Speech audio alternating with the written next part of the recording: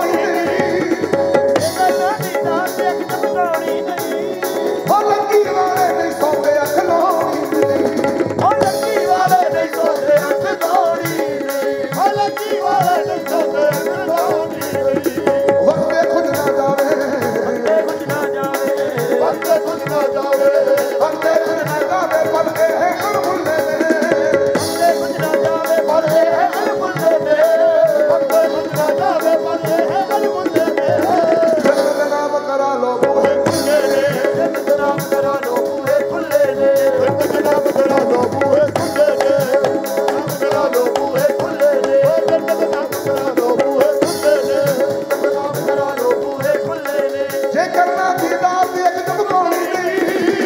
ਇਹ ਕਰਨਾ ਦੀ ਦਾਤ ਇੱਕ